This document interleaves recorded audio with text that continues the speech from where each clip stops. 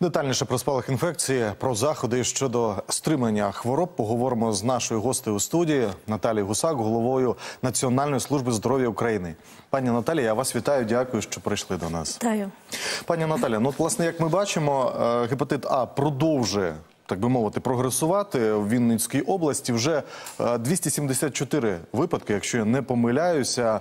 Е, Багато людей вже виписали з лікарень, залишається ще 54 або якась така кількість. Як ви взагалі е, оцінюєте е, те, наскільки швидко розповсюджується хвороба? Ну насправді гепатит А це є інфекційна хвороба, і так безумовно е, епідеміологи зараз працюють над тим, щоб вона не розповсюджилась значно швидко. І ми це власне почули з ефіру. Це є декілька методів. Це і епіднагляд стосовно контактних осіб, це і одночасно вакцинація осіб, які можуть е, працювати з особами, які є зараженими. Відповідно, наразі ми спостерігаємо, що ситуація е, розвивається відповідно під контролем людей, які мають за нею слідкувати. Е, Ми бачимо, що дуже швидко відповідно було довезені необхідна кількість доз вакцин для того, щоб вакцинувати людей, які мають працювати з цією е, з цією хворобою. Одночасно з цим е, я, як голова Національної служби здоров'я України, також хочу звернутися до пацієнтів, які зараз перебувають в стаціонарному лікуванню, е, про те, що е, ми, коли розробляли програму медичних гарантій, ми розуміємо, що ми маємо можливість мати справу з будь-якою інфекцією. Нещодавно це був COVID-19, і е, для цього ми законтрактували заклади, які мають реагувати на надзвичайну ситуацію. Вони є і на Вінниччині. Загалом по країні це 199 закладів, які мають мати необхідний запас ліків для того, щоб надавати повністю безоплатно лікування, стаціонарне лікування пацієнтам, які потребують цього лікування. Також у нас в рамках стаціонарного лікування інфекційних відділеннях заклади, які законтрактовані також на з Національною службою здоров'я України, е, мають е, можливість надавати повністю це лікування безоплатно. Я хочу також нагадати українцям, що інфекційні хвороби вони з'являються через е, те, що ми не своєчасно вакцинуємося. А для цього знову ж таки в державі є календар щеплення, і необхідно ще раз звернути увагу, особливо зараз, коли наша увага прикута до вій- до війни, про те, що необхідно вакцинувати і наших дітей, і власне і дорослих, які через відповідні інфекційні захворювання мають пройти вакцинацію кожних 10 років. І для цього всього навсього, що потрібно зробити, це звернутися до свого сімейного лікаря. І вакцини, які закуповуються державою централізовано, вони є безоплатними для людей. І вакцинація як е, сама послуга, вона також є безоплатною в рамках е, роботи сімейного лікаря і укладеної декларації з сімейним лікарем. Також е, слід зазначити про те, що поруч з гепатитом А. Контролювати достатньо його легко, тому що, як вже зазначалося в ефірі, це чисті руки, відповідно е, певний контроль е, за власними діями. Поруч з гепатитом А ми наближаємося до іншого сезонного інфекційного захворювання. Це також е, грип, який постійно лютує в осінньо-зимовий період. І тут необхідно також сказати українцям, що вакцини вже є в Україні, і ви також можете звернутися до свого сімейного лікаря для того, щоб е, провакцинуватися. Єдине, що е, вакцини від грипу вони не входять до календаря щеплення, і українцям необхідно купляти їх власне в аптеці, але саму вакцину сімейний лікар має поставити безоплатно. А щодо от вакцинації, е, тому що от в сюжеті казали, що зараз вакцинують таку неконтактних людей, це от медиків і тих, хто наближений до хворих. А чи вистачить взагалі вакцини? Скільки виділено? Я знаю, що більше тисячу доз направлено на Вінниччину. Я знаю, що Міністерство охорони здоров'я зараз з партнерами працює над тим, щоб е, кількість вакцин збільшити, які необхідно для того, щоб опрацювати всіх контактних осіб. І тут не тільки йдеться мова про медиків, епідеміологів. Е, Ми чули з ефіру, і це можна підтвердити з офіційних повідомлень Міністерства охорони здоров'я, що е, вакцинуються і відповідно люди, які були в контакті, тобто члени родини е, людей, які захворіли на гепатит А. І е, наразі Міністерство охорони здоров'я працює, щоб кількість вакцин, е, які можна отримати безоплатно, вона зростала в відповідних регіонах, де є ризик, в тому числі захворіти на гепатит А. Ну, От ви кажете, що в самій Вінниці є лікарні, які законтрактовані за тим, щоб мати певну кількість ліків для того, щоб надавати послуги стосовно гепатиту А. А чи справляється зараз область? Ну е, ми не ми, як е, закупівельник медичних послуг, ми не бачимо з електронної системи охорони здоров'я, що область не справляється. Тобто, все відбувається відповідно в штатному режимі. Ми бачимо, що заклади, які законтрактовані на пакет готовність до реагування до надзвичайних ситуацій, приймає пацієнтів, які захворіли. Ми також розуміємо, що е, центр громадського здоров'я разом з міністерством охорони здоров'я, разом з департаментом охорони здоров'я може розгорнути додаткові ліжка, якщо це буде необхідно. Але наразі ми спостерігаємо, що ситуація цього не потребує.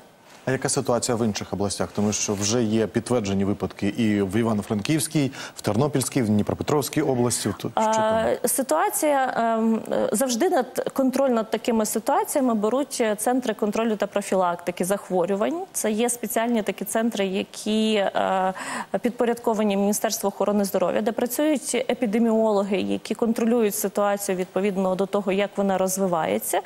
І знову ж таки, те, що необхідно знати українцям, що кожен з нас може внести е, свій внесок в боротьбу з цим захворюванням, і це найпростіші правила: Е, пити кипячену питну воду, дезінфікувати руки, дивитися, контролювати е, відповідно, що вживають у харчуванні. Але одночасно з цим українці також мають розуміти, що це інфекційне захворювання, яке є несмертельне, яке лікується, і це вже можна підтвердити, в тому числі із е, вашого ефіру, що вже велика кількість пацієнтів вже виписані з е, стаціонарного лікування. А стаціонарне лікування воно забезпечується закладами, які і законтрактовані в рамках готовності до реагування, і законтрактовані на стаціонарне лікування, на пакет стаціонарного лікування, куди входить також лікування інфекційних захворювань. І що ще важливо? Важливо тут згадати для кожного українця, що у вас є сімейний лікар, який має бути першою особою, яка має знати про те, що щось не гаразд з вашим здоров'ям. Сімейний лікар, отримавши повідомлення від вас чи ідентифікувавши про по прийому він вже знає, куди звертатися, якщо це є певні, е, певні е, розуміння того, що це може бути саме інфекційне захворювання, е, спричинене гепатитом А. Чи варто взагалі зараз вакцинуватися? Безумовно, вакцинуватися варто, особливо зараз, тому що е, те, що ми спостерігаємо з електронної системи охорони здоров'я, що українці е, вони і так, ми, ми і так всі знаєте дуже байдуже іноді відносимось до свого здоров'я. Перенісши цілу пандемію, коли ми е, втомилися від чистих рук, від масок, і а потім перенісши цілий, цілий такий процес вакцинування від COVID-19, чомусь всі думають, що всі інфекційні захворювання вже- відступили. На жаль, ні. Ми бачимо, що і COVID-19 він є на території України, як і на і територіях інших країн. І я хочу нагадати всім українцям, що вакцинація від COVID-19 у вашого сімейного лікаря також є безоплатною. І саме зараз час звернутися, хто ще не ревакцинувався, відповідно поставити бус- бустерну дозу е, вакцини від COVID-19. Аналогічно, як необхідно подбати за здоров'я своїх дітей і чітко слід, слідкувати за календарем щеплень. Я і моя родина вже в цьому році вакцинувалася від грипу е, на е, цей сезон, і це пройшло дуже так е, абсолютно безпечно. Придбавши вакцину, ми вже всі вакциновані, і я вважаю, що це той внесок, в тому числі у нашу перемогу, тому що нам потрібні люди здорові, а не інфіковані. Потрібна здорова країна. Давайте ще поговоримо про здоров'я, але спочатку подивимось невеликий сюжет. Герой нашого наступного сюжету не тільки подолав важку хворобу, але й вирішив допомагати іншим перемогти інсульт та вберегтися від цього лиха. Сьогодні ця хвороба прогресує у всьому світі. За даними лікарів, кожен четвертий українець має ризик отримати інсульт. Як вберегтися? Роман Барашев розкаже. Я просто от е, приходив до турніків і просто ось за допомогою здорової руки клав цю руку. І так щодня от приходив, потім от я почав робити спроби просто повиснути. Ну і ходив у зал собі, качав, качав, качав, а потім взяв і зміг один раз підтягнутися, а потім більше, більше. Інсульт стався просто на рівному місці, згадує Максим. Йшов на ділову зустріч і раптом відчув, що права сторона тіла, рука та нога не працюють. Я зробив всяк так декілька кроків до трамвайної зупинки, де присів, дістав телефон і набрав лівою рукою. Дістав телефон і набрав номер своєї дружини. У лікарні швидкої встановили діагноз геморагічний інсульт. Геморагічний інсульт, коли, судина розривається, і тоді виникає е, виток крові в мозок. Ішемічний інсульт це коли судина блокується, і тоді немає кровотоку. Та ділянка мозку, яка живиться із цієї судини, вона припиняє отримувати кисень і поживні речовини. І відповідно ці клітини починають гинути. Приступ інсульту досить підступний. Болі людина зазвичай не відчуває. Але якщо не розпочати екстрене лікування у перші ж години, пацієнт може померти чи назавжди втратити можливість нормально рухатися чи розмовляти. Присідаєш тільки на цій нозі. Домовились? Поїхали. Раз. Нижче, нижче, нижче, нижче.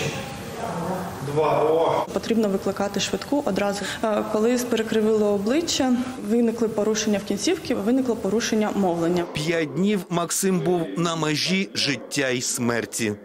Ну, це відбувалося так, коли приходить лікар, питає, як тебе звати? І відповідь: ну, Макс, ну щось там можна розібрати там з п'ятої спроби. А наступне запитання: який сьогодні день? Воно тебе просто укладає на лопатки, ти навіть не можеш, е, бо ти не знаєш, ти забувся, які бувають дні, і що це таке взагалі день. З того часу пройшло 5 років. Сьогодні у Максима все добре з фізичною виправкою, а ще інсульт перетворив його на письменника. Чоловік ділиться досвідом подолання хвороби, мотивує працювати над собою, причому не лише пацієнтів з інсультом. І я вважаю, що і ті військові, які отримують ЧМТ, ну ж характер пошкодження різний, але процес відновлення, в принципі, він ідентичний. Їм треба зробити те саме, що зробив я. Непошкоджені ділянки мозку вони мають взяти на себе діяльність пошкоджених. І просто пацієнту важливо зуміти їх розбудити.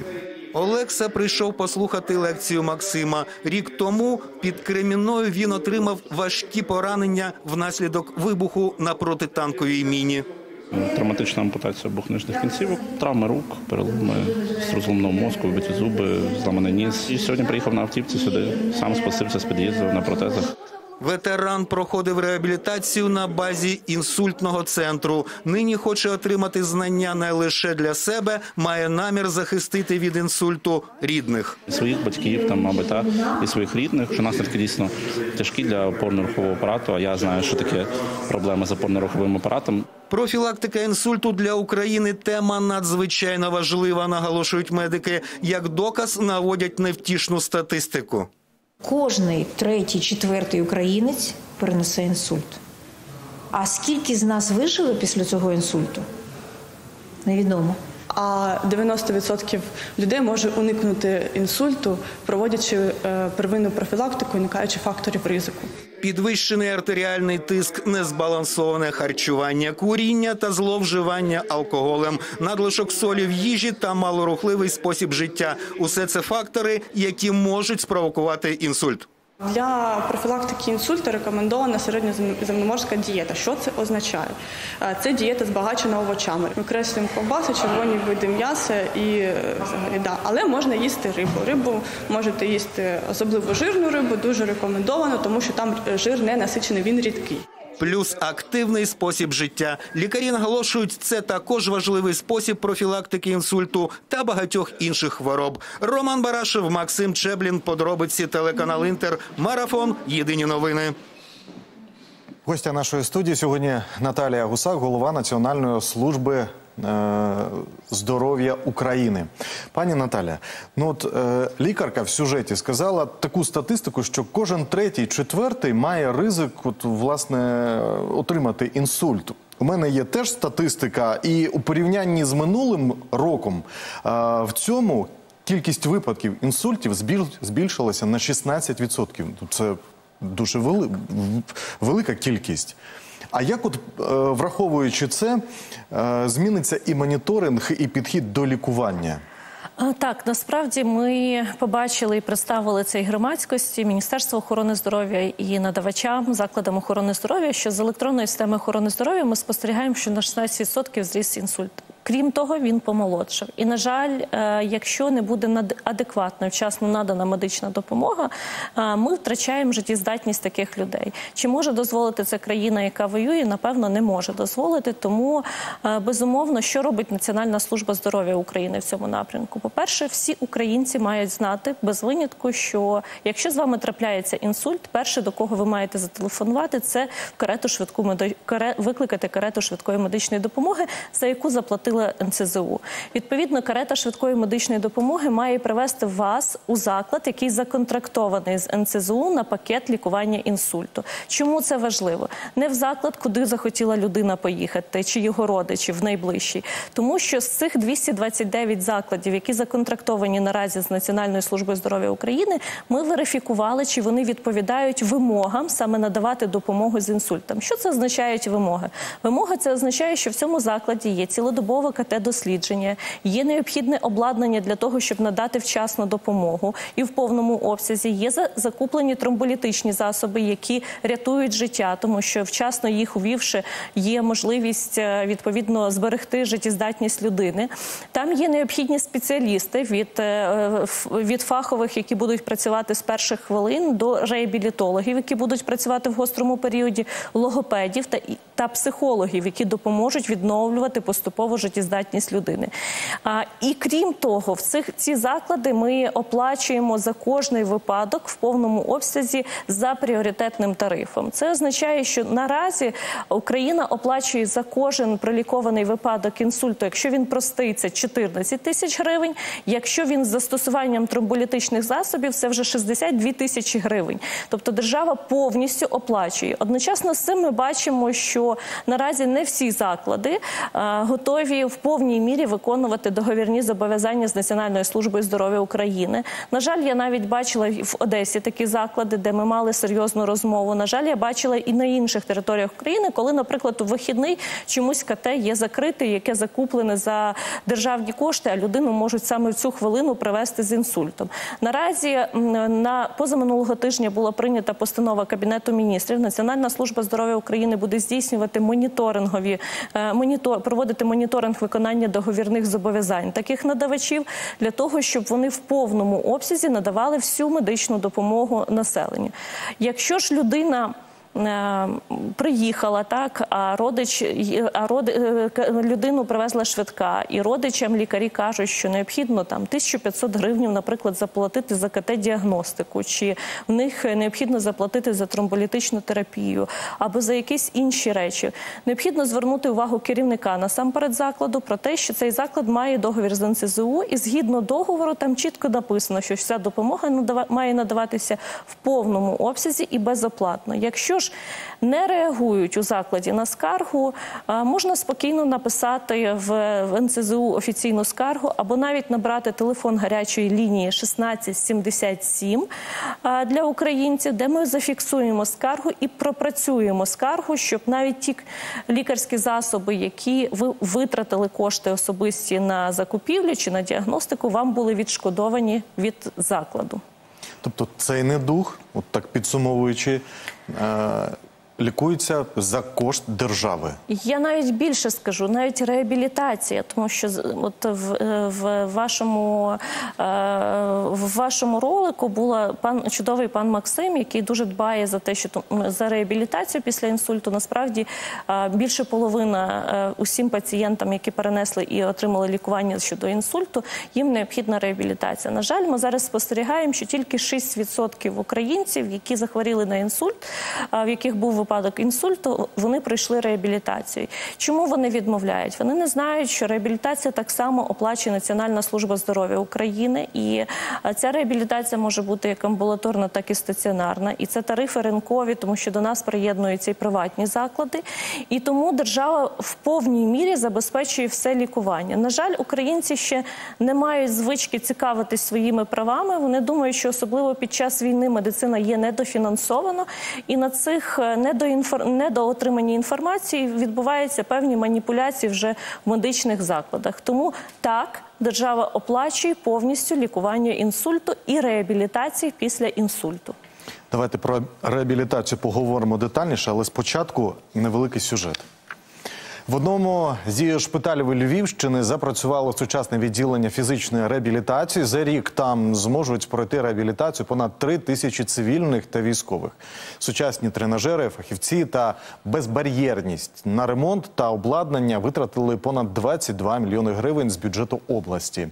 У новому реабілітаційному просторі побувала й наша Вікторія Балицька.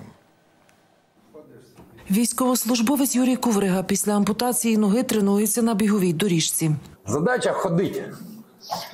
Просто ходити на вулиці, на станках займатися. Ну, в принципі, ходити. Ходити. Чим, чим більше, тим краще. Юрій був учасником АТО, а торік, 24 лютого, пішов у військкомат та потрапив до Запорізької бригади тероборони. За два місяці на бойових позиціях захисник зазнав важкого поранення, наслідок якого втратив ногу. Протезували бійця у Швеції, а реабілітація у новому відділенні шпиталю. Якщо я там на той біговій дорожці пару минут спочатку, то зараз там і 10 хвилин можу, і- і 15, і 20. У сусідній кімнаті під наглядом фізичного терапевта займається нацгвардієць Роман. Так, добре, але намагайтесь вловити рівновагу. Опускай, затримуйтесь на 3 секунди і повертайтесь в вихідне положення, потім навпаки. болі в спині, кульшові суглоби. Таке от дається в знаки, коли от ходиш в бронежилеті з автоматом, зі всім хороші зали, хороші, хороші тренери. Тобто все нове. У відділенні реабілітують і цивільних, і військових. Підбираємо певний правильний підхід, правильні вправи, які допоможуть покращити і відновити всі функції наших пацієнтів. Ну, в нас є різні категорії пацієнтів: це е, і неврологія, і ампутація, і е, проблеми з опорно-руховим апаратом. Відділення розташоване на 900 квадратних метрах. Тут і фаховий персонал, і найсучасніше обладнання. У нас є бігова доріжка, яка має систему розвантаження, що допомагає нам е, працювати з пацієнтом, які мають труднощі у переміщенні. Також у нас є е, діодинамічні сходи. Е, Їхня особливість в тому, що можна змінювати висоту сходинки. Це забезпечує можливість тренування пацієнта. У відділенні використаний принцип безбар'єрності, тобто простором зможуть скористатися люди із будь-якими особливими потребами. На підлозі медичне покриття, на якому неможливо послизнутися. Все продумали до дрібниць. Пересідати, вставати і користуватися туалетом. Також безбар'єрний простір, що пацієнт може скористуватися душем. Щодня у відділенні можуть проходити реабілітацію від 30 до 50 пацієнтів. У нас працює мультидисциплінарна команда е, у складі лікаря фізичної реабілітаційної медицини, фізичного терапевта, ерготерапевта. І обов'язково в нашій реабілітаційній команді є терапевт мови та мовлення, а також е, психолог. На ремонт та закупівлю обладнання витратили понад 22 мільйони гривень із обласного бюджету. Для пацієнтів усі послуги безкоштовні. Вікторія Балицька, подробиці телеканал Інтер, марафон. Єдині новини. Я нагадаю, що гостя нашої студії сьогодні Наталія Гусак, голова Національної служби здоров'я України. Пані Наталя, ну от власне. Е, Питання е, реабілітаційних центрів воно зараз дуже таке актуальне і- пріоритетне. Я знаю, що в багатьох регіонах нашої країни відкриваються ці центри. Наприклад, от і в Чернігові, навіть на е, базі лікарні обласної, якщо я не помиляюся, куди поцілили бомбою рашисти, там теж є плани такі відкрити такий великий реабілітаційний центр. А скільки взагалі зараз от медзакладів займаються реабілітацією? А, так, насправді все те, що ви бачили з сюжету, це та реабілітація, яка є як викликом, е, як реакцією на виклик війни, тому що ще два роки назад реабілітація це були якісь банки, якісь е, е, е, е, е, не знаю, грязі і, і так далі. Все те, що було недоказовано. Справді, все те, що ми бачили в сюжеті, це безбар'єрність, необхідне медичне обладнання, функціонування відповідної команди. Це вимоги Національної служби здоров'я України до закладів закладів, які ми контрактуємо за двома пакетами: це реабілітація в амбулаторних умовах і реабілітація дорослих і дітей в стаціонарних умовах. І наразі вже більше 400 закладів в Україні законтрактовані за цими напрямками. Цьогоріч в програмі медичних гарантій виділено е, більше 4 мільярдів бюджетних коштів для того, щоб реабілітація стала пріоритетною. Ми сплачуємо за кожний наданий випадок е, послуги з реабілітації. І насправді те, що ми бачимо, як в Україні створюється фактично з нуля справжня мережа центрів е, закладів, де працюють е, такі мультидисциплінарні команди на сучасному обладнанні і відновлюють життєздатність наших людей, е, не тільки хлопців і дівчат, які отримали травму внаслідок війни, а також і цивільних осіб, тому що тут також в людей є деякі недорозуміння. Держава оплачує за всіх за послуги реабілітації, всіх, хто потребує, хто має електронне направлення від лікуючого лікаря або від сімейного лікаря е, на відповідну реабілітацію. Тому е, ми е, також розуміємо, що цієї мережі є недостатньо.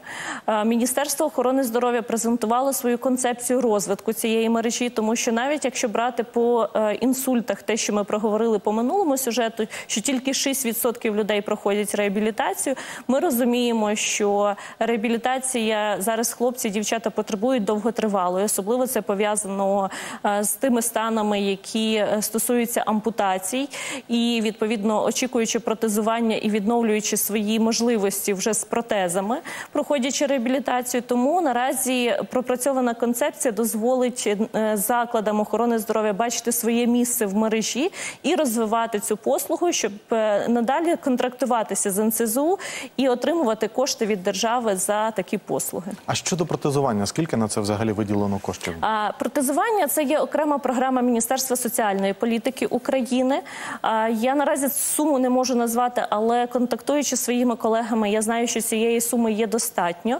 Одночасно з цим ми е, в минулому місяці провели такі е, моніторингові візити стосовно закладів, які надають реабілітацію саме пацієнтам з ампутаціями, для того, щоб дізнатися, чи знає е, кожен пацієнт, що є така державна програма, для того, щоб дізнатися, чи заклад уклав договора з усіма е, надавачами е, і виробниками протезів, е, і дати можливість людині обрати, який протез він хоче отримати.